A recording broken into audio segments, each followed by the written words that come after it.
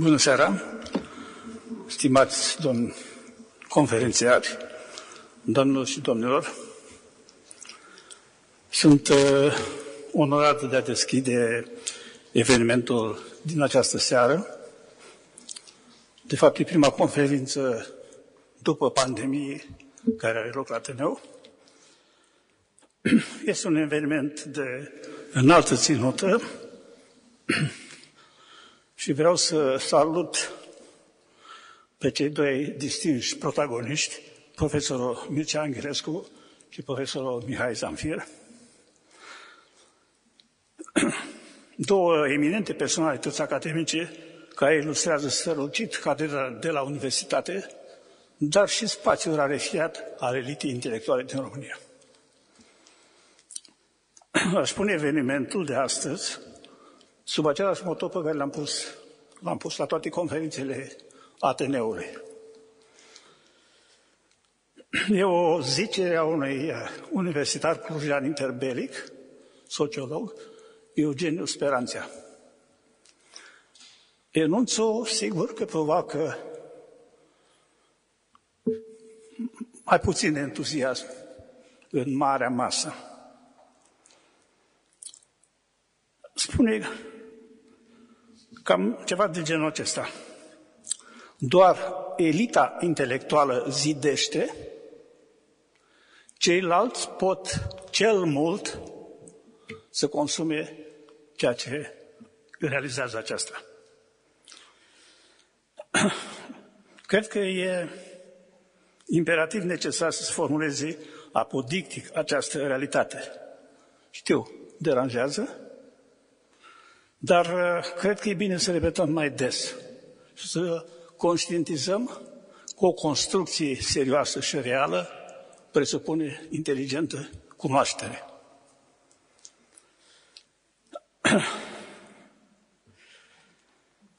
Pudibonderia nu salvează nimic, nici România. Și cred că e bine ca uh, judecata corectă, fără idiosincrazie, să fie cea care ar trebui să construiască, să formeze opinii. Sigur, în secolul nostru face carieră corectitudinea politică. Dar din nefericire nu face decât să accentueze, să agraveze degradarea, futilul, gregarul mediocrilor violență. Am vrut să rețin această motivație acestor conferințe. Conferința de astăzi este a 36 din 2010 de la inaugurare, Herta Müller cu Gabriel Liceanu. Conferințele acestea au o istorie cum smerenie, spun, o istorie pozitivă, poate eu mi-aș permite chiar entuziastă. Șase laureați ai premiului Nobel au urcat pe această scenă. Mai mulți laureați ai premiului Goncourt, premiul Balzan, fizică. Președinți de țară, președinți de țară, președinți democrați de țară, dizidenți autentici, cardinali, universitari din America și Europa, personalități de mare valoare intelectuală, notorii în toată lumea. În acest, acesta este cadru și aceasta este istoria în care uh, se desfășoară și conferința de astăzi. Nu o să îmi permit să fac multe observații nici asupra cărților, neavând această competență, dar câteva observații. Înainte, însă vreau să prezint uh, totuși uh, din biografiile celor doi conferențiari remarcabile biografii academice. Profesorul Mircea Anghelescu, profesor emerit la Universitatea din București, critic și istoric literar, specialist în literatură comparată, cu un parcurs profesional de excepție, director la Institutul Istoriei și Teorie Literară Călinescu al Academiei, președinte și vicepreședinte la asociații și fundații culturale de mare prestigiu, premiat de Academia Română, de Muzeul Literaturii Române, de unea scriitorilor, autor de mare valoare și autoritate. Profesor Mihai Zanfir, profesor emerit la aceeași universitate, specialist în stilistică, istorie literară și literatură comparată, o personalitate plurivalentă, excelând în spațiu cultural și diplomatic. Privilegiul de a fi fost uh, în siajul universitar a unei legende, Tudor Vianu, cu un doctorat coordonat de Șerban Cioculescu, explică consistența de excepție a formației sale intelectuale. Uniunea Scriitorilor a declarat anul trecut scriitorul anului.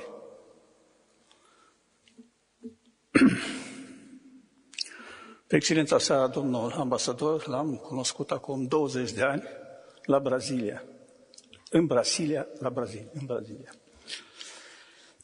Un diplomat uh, de vocație, un excelent diplomat și un recunoscut specialist în cultură portugheză. Câteva observații personale. Frunzărind cele două cărți. Mi-a făcut plăcere să citesc la cei doi autori considerații legate de un mare scriitor român, printre puțini recunoscut universal, Vintilă Horia. Premiul Goncourt, depășit de fapt doar de Nobelul doamnei Herta Müller. Un scriitor nedreptățit, neglijat, abandonat, oportunist de lumea literară din țară evident diabolizată de înregimentați și victimă a exceselor ideologice. Un scriitor, spune profesorul Zanfir, lipsit de noroc. Închei mulțumit doamnei Spandonide, co-participantă la proiectul de astă seară. De fapt, colaborarea noastră, cred că e la al doilea proiect, Primul a fost acum vreo 4-5 ani, când am avut invitat pe profesor Vigil Nemoianu cu agonia spiritului, iarăși un, cred că e sunteți congener cu profesorul Nemoianu și probabil mă întâlneați la cetă de poetică de la Universitate cu Rosetti, Mihai Pop și Tudor Vianu. Vreau să-i mulțumesc, Doamnei, și să sper că e posibil ca această colaborare, ținând seama de ținuta intelectuală a proiectului, va continua. Vreau ca această scenă să rămână un loc al excelenței intelectuale, culturale și științifice. Aici au loc și conferințele de Crăciun, uh, care sunt dedicate, dedicate uh, excelenței în știință. Un, un loc omologat de Europa civilizată, care să confere recunoaștere și respect lumii românești, care aderă la cultura de performanță, formularea lui Noica. Există o selectă elită intelectuală încă în România și ea trebuie susținută promovată și prețuită. Închei mulțumind încă o dată celor doi conferențiari, cu recunoștință.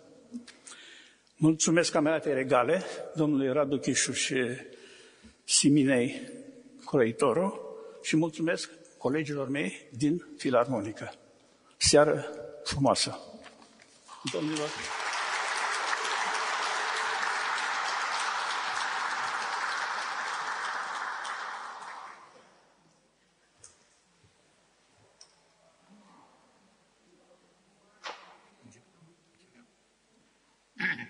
Se aude? Se aude. Da? Bună seara! Suntem onorați, eu și colegul meu, să participăm la o, un eveniment cultural neobișnuit, Eu apreciez mai mult evenimentul în sine, pentru că cele două cărți ale noastre sunt doar un pretext pentru a vorbi despre cultură în general. Mă consider privilegiat și pentru că mă aflu într-un moment istoric. S-ar putea ca de mâine să închide toate sălile spectacol. Așa încât aveți prilejul de a fi ultimii bucureșteni care asistă la ceva de felul ăsta. Să sperăm că nu va fi așa, dar dacă va fi așa, cu atât mai bine pentru dumneavoastră, cu atât mai rău pentru restul. E podiumul Ateneului, un loc unde, de-a lungul deceniilor, au urcat diverse personalități extraordinare. Aici recita Macedonski poeziile lui, aici a vorbit Iorga, iar în ultimii ani, în locul unde ne aflăm noi acum, au vorbit personalități cum ar fi Pleșu, Liicianu, Solomon Marcus și alte câteva nume de referință ale culturii noastre contemporane. Noi aici avem un rol puțin ceva mai modest, nu vorbim despre o operă globală, facem prezentarea a două cărți care, încă o dată, au doar meritul de a vorbi în special despre cultura română și de a o analiza în diverse feluri. E vorba de o carte a mea, alt jurnal indirect, continuarea unui jurnal indirect care a apărut acum 5 ani, și cartea domnului profesor Angelescu, care este și o continuare, de fapt, a unei istorii literaturii române moderne, volumul 1, care a apărut deja acum aproximativ un an și pe care, într-un fel, o completează. Există o legătură firească și chiar, aș spune, legătură intimă între cartea mea care a apărut acum 5 ani și cartea aceasta, între cartea profesorului Angelescu și volumul pe care îl prezentăm acum, literatura în context. Pentru că ilustrează aceeași, același mod de a vedea literatura. Profesorul uh, Angelescu vede literatura într-un anumit fel pe care mai ales el, Angelescu, o ilustrează. Adică vede literatura română uh, încadrată într-un context cultural foarte larg. Într-un context cultural și documental. Pentru că dumnealui este un specialist, aș zice, în bibliotecă. Este cel mai atașat cercetător român pe care îl cunosc eu, biblioteci. Biblioteca este viața lui. Documentul este ceea ce îl hrănește în fiecare clipă. Fără document, fără bibliotecă, cărțile Domnului Angrescu ar fi de nerecunoscut. Cartea aceasta, aparent, este un fel de culegere de studii apărute în România literară în ultimii 5-6 ani. Dar e cu mult mai mult decât atât. Când spunem culegere de studii, avem imaginea unei, eh, spunem, alcătuiri întâmplătoare. S-au republicat studiile din ultimii câțiva ani. De fapt, mai mult decât atât, cu mult mai mult decât atât. Modul în care Mici Angelescu vede literatura română de la originile ei și până astăzi, este un mod care îl caracterizează profund. Se întreabă în ce circunstanțe culturale a apărut opera respectivă și în ce măsură opera respectivă dă seama de lumea în care a luat ea naștere. În fond, noi ne gândim întotdeauna la o carte pe care o citim și ne punem eventual întrebări în legătură cu autorul care a scris-o. Literatura înseamnă mult mai mult decât atâta. Noi nu suntem atenți la ea. De obicei. Noi cititorii. Dar acea operă literară și acel autor sunt la rândul lor rodul unor circunstanțe pe care ei nu le domină. Le-au fost impuse lumea în care trăiesc, atmosfera în care trăiesc, regimul politic în care trăiesc, bunăstarea sau mizeria în care trăiesc. prietenii pe care îi au. Au fost apreciați sau au fost persecutați? Sau nici nu s-a știut despre ei? Au fost celebri sau au fost anonimi? Noi aceste întrebări nu ne punem când citim o carte. De obicei. O carte de ficțiune mai ales, adică o carte de literatură. E, toate aceste laturi mai puțin vizibile ale cărții, ale literaturii, acesta îl interesează în special pe Mircea Angelescu. Și din acest punct de vedere, modul în care analizează el autorii, cărțile, este un mod cu totul particular, cu totul neobișnuit. Sigur, s-ar putea spune multe, dar întrucât uh, și domnul Angelescu are părerile lui despre ce fac eu, îl las deocamdată să spună câteva lucruri, să spună câteva opinii, observații în legătură cu cealaltă carte din seara asta, adică cu jurnalul meu. Mulțumesc. După cum vedeți, aveți în fața dumneavoastră doi reprezentanți ai uh, criticii istoriei literare și ai uh, învățământului universitar din București, s-ar putea zice că de la alfa la omega, de la, de la A la Z sau de la Z la... Uh, îi mulțumesc colegului meu pentru o introducere care e globală și mă ajută într-un fel să deschid o discuție care poate să fie fără margini. Nu vom încerca așa ceva, Doamne ferește. Vreau doar să punctez două sau trei lucruri, pentru că este vorba de o disciplină care poate să fie confundată ușor de, după sfera în care se plasează într-una culturală sau într-una a artei. A vorbi despre literatură poate să cuprindă într-adevăr o inserție, o căutare în spațiul cultural, istoric, cum bine a spus colegul meu, încerc să fac eu, și într-o perspectivă estetică, dintr-un punct de vedere al plăcerii lecturii și noutății și stilului mai ales, care este perspectiva colegului meu, profesorul Zanfir. Este ceea ce se reflectă și în însemnările sale din volumul pe care îl vedeți, care au punctul de plecare într-o observație care dezvoltă într-un plan propriu-zis literar o gândire care lărgește cu mult orizonturile tuturor acestor texte.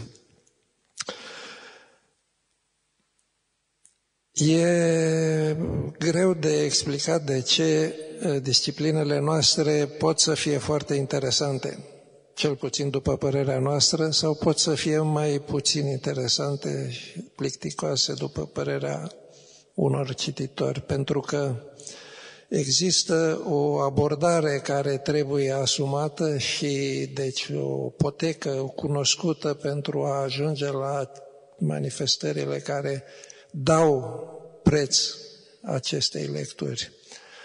Există, de pildă,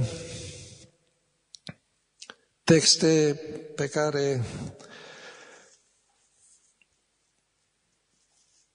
nu le putem uh, citi fără să facem presupuneri despre autor, despre epocă, sună, nu?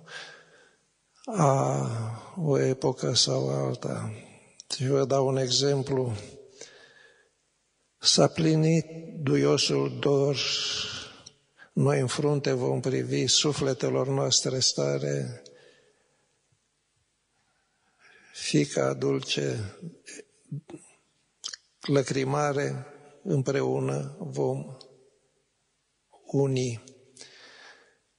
Uh, sună puțin eminescian, nu? E un uh, text de la 1836, de la lui Asaki. Și așa mai departe. Oare venive idol vieții mele în acest rediu, eu te aștept de mult și așa mai departe. Sună eminescian. Eminescu nu este o, o invenție sau o descoperire extraordinară. Eminescu este rezultatul unei creșteri. Există o parte culturală a disciplinei noastre care este studierea ambianței, a elementelor de pregătire a ceea ce va să vină. Deci partea culturală cu informații, cu citate, cu trimiteri la ceea ce au spus alții până acum, pentru că interpretarea care se dă literaturii și mai ales poeziei, de multe ori diferă de la epoca la epoca în care se fac aceste aprecieri. Și atunci a citi literatura cu o perspectivă, cu un ochi orientat deja într-un anumit fel, înseamnă a fi pus pe o anumită cale. Ea este dependentă de epoca în care citești, nu? Când am fost noi studenți, trebuia să facem față necesității, cerinței imperative de a gândi marxist sau nu mai știu cum. Nu? Noi am terminat în 62 amândoi facultatea și interpretările erau destul de strâns la seminar cel puțin verificate. Sau lăsată liber ingeniozității, sensibilității lectorului care după aceea putea să scrie sau nu. Ceea ce este caracteristic profesorului Zanfir, textelor pe care le scrie dânsul, este perspectiva estetică. Este perspectiva muzicală, este perspectiva care descoperă transportul lecturii într-o sferă mult mai largă și mai artistică decât simpla informație, cum se întâmplă de foarte multe ori în textele mele. Uh, dânsul are o serie de volume, unul îl aveți, ultimul mi se pare îl aveți în față, care se cheamă Jurnal Indirect. Pentru profesorul Zanfir, a scrie a scrie orice, nu numai literatură, totul se transformă în literatură și totul este un tip de jurnal indirect. El trafichează, cum să zic, prelucrează informația, senzația, sentimentul, informația chiar documentară, pentru a o aduce într-un plan al poeziei. De altfel, Câteva dintre cărțile sale se referă în mod uh, direct și precis la proza poetică.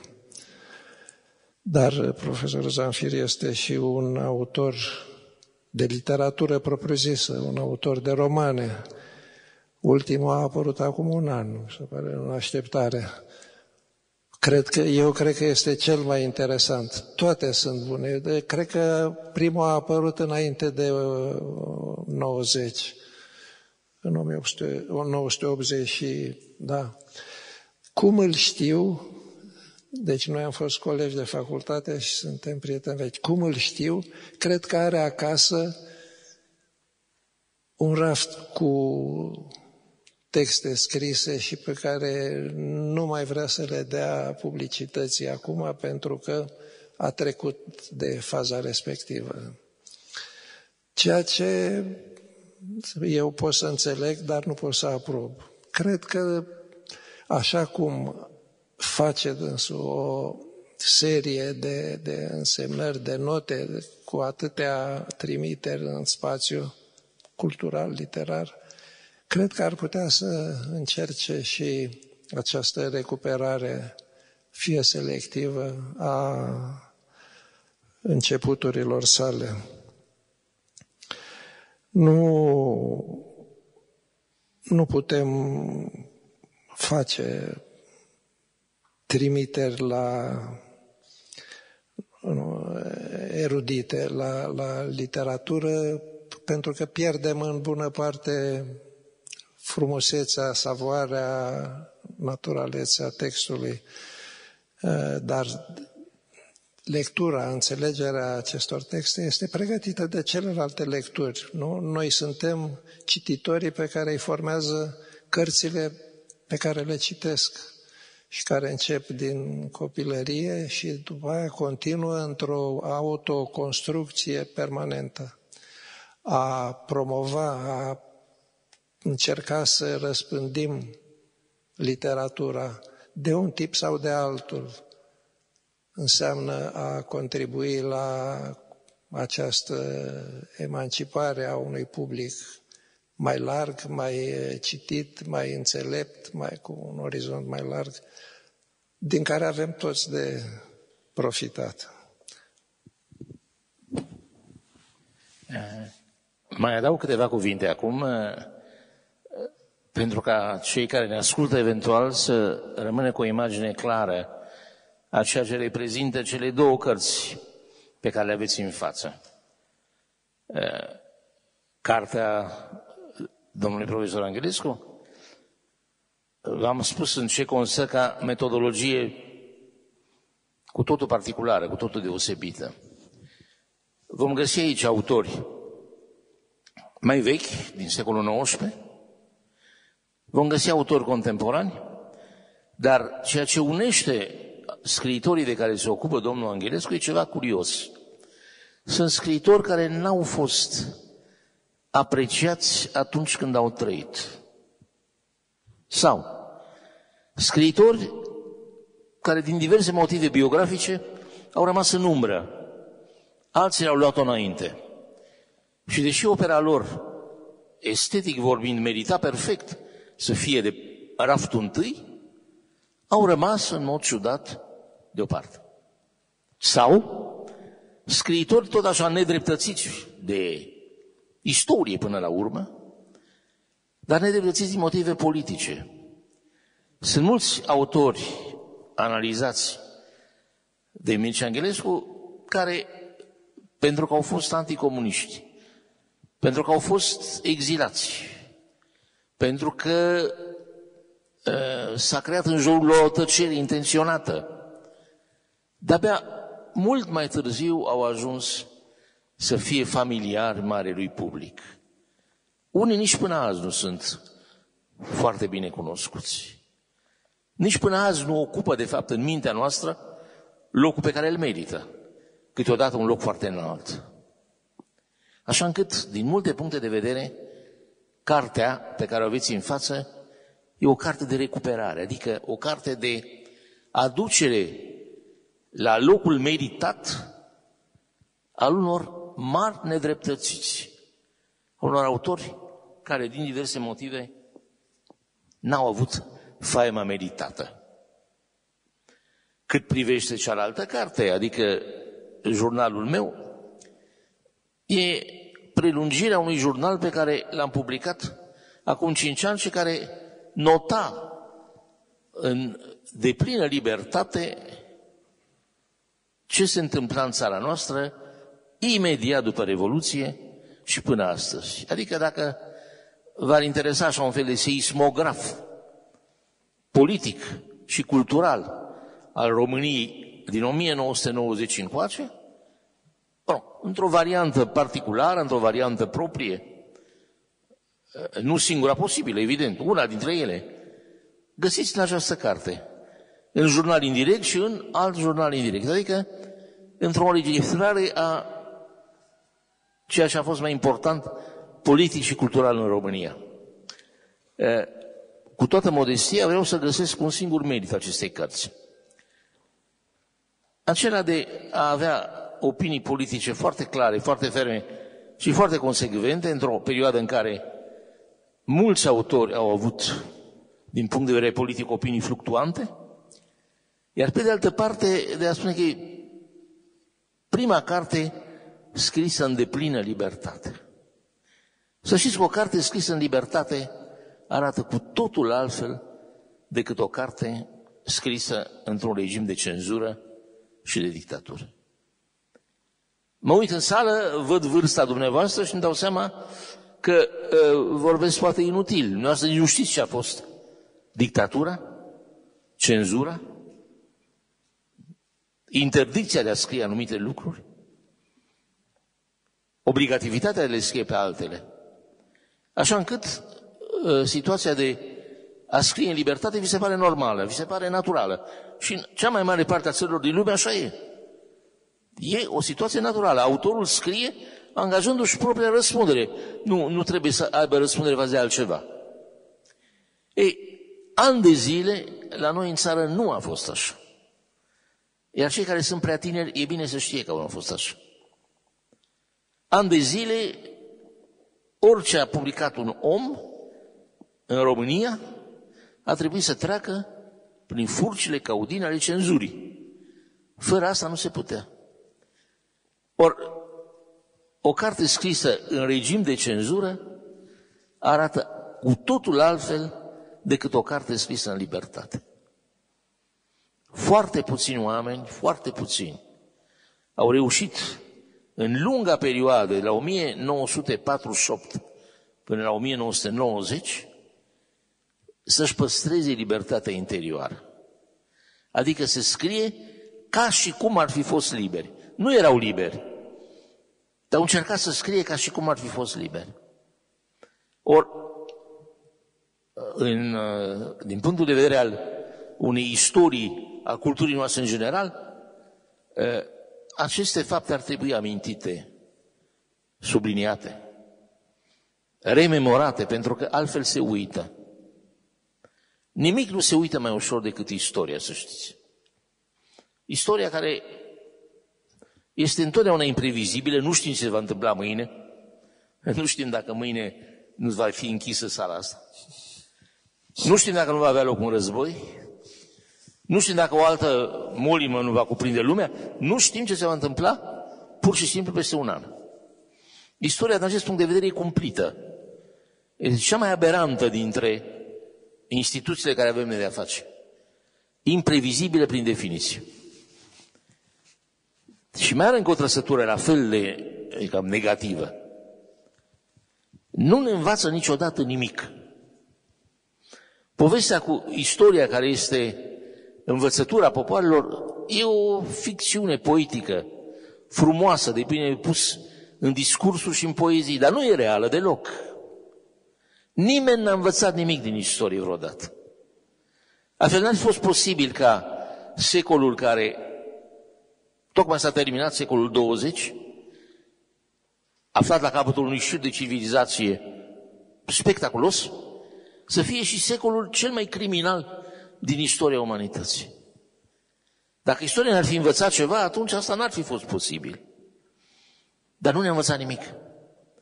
Ori dacă avem această rezervă, pe de o parte, nu știm ce se va întâmpla mâine. Istoria e imprevizibilă.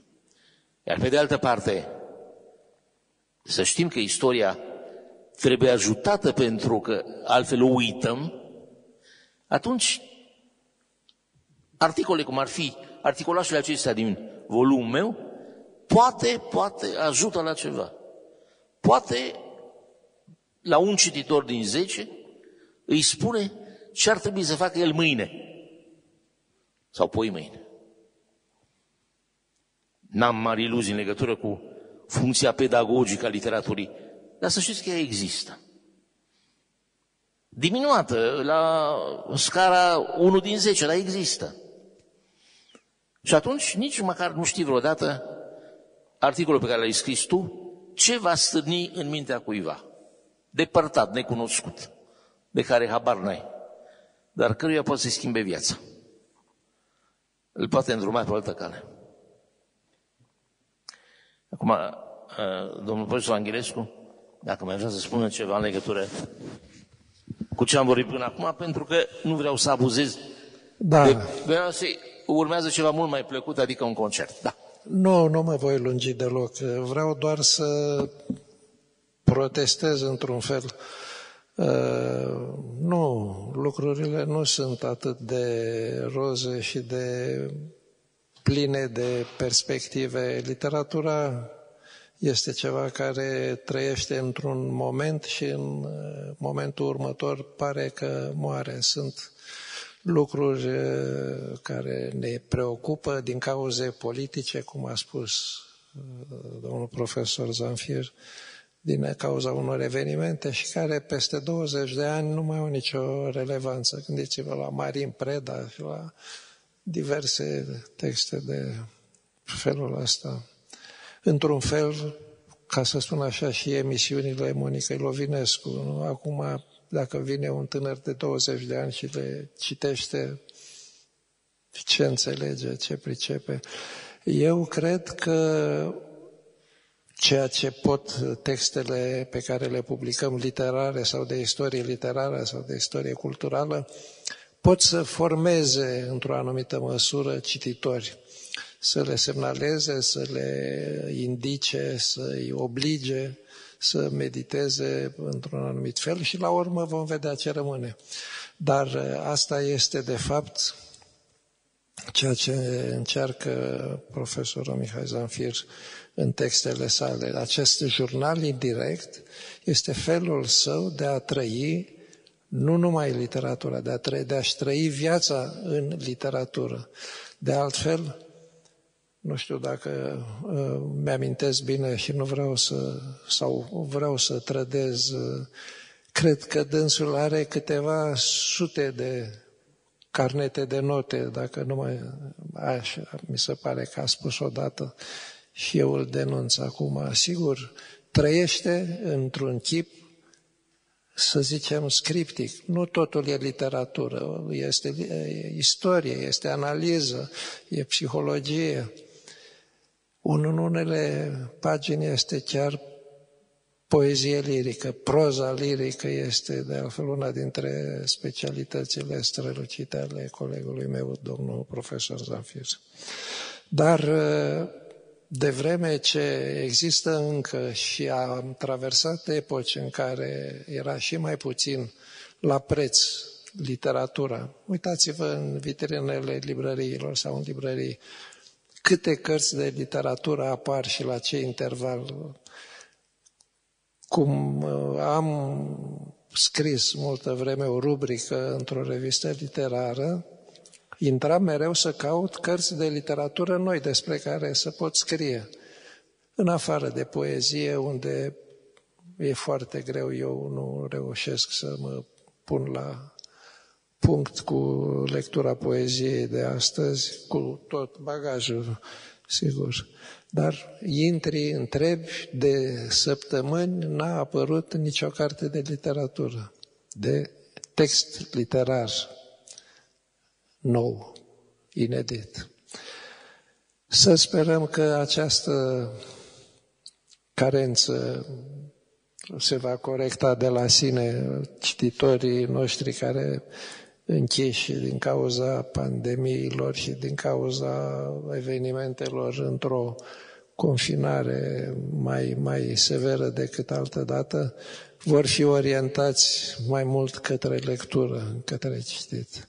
Dar în orice caz, literatura va continua să existe.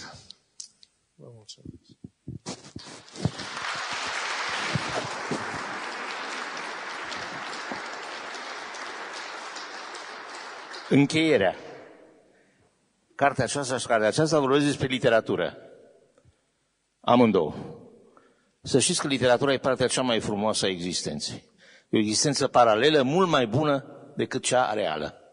Așa că dacă vreți să aveți accesați la ea, încercați și în varianta asta. Vă mulțumim pentru prezență și ne iertați pentru plictiseală.